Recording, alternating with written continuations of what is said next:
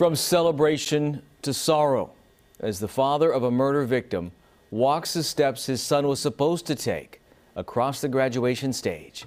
The Grant High School senior's life cut short late last night, shot while sitting in a car.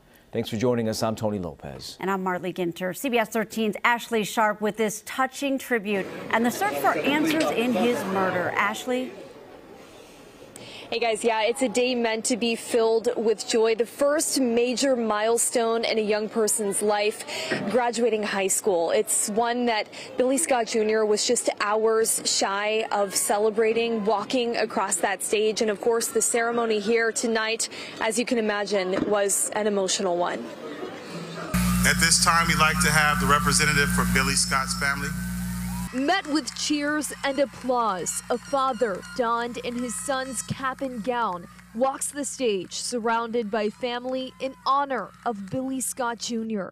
In front of a class of graduating seniors, reminded to lean on each other. There will be tragedies, there will be sorrows, but there will be much joy, just as it is for most of you today.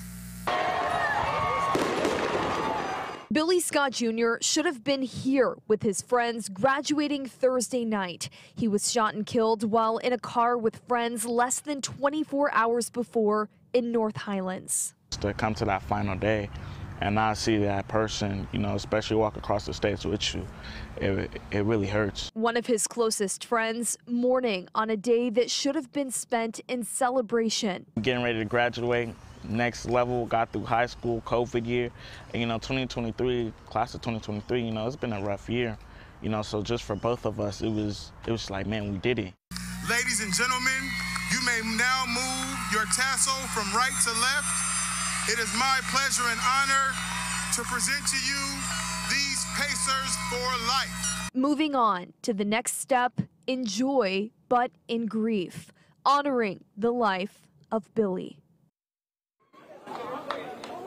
And again, that shooting happened about this hour last night. At this hour, though, no one has been arrested so far in this investigation. And police tell us that they are still trying to pin down exactly where this shooting happened in North Highlands. All of those questions still at the top of the mind for these investigators, of course, on the case and this community that is mourning.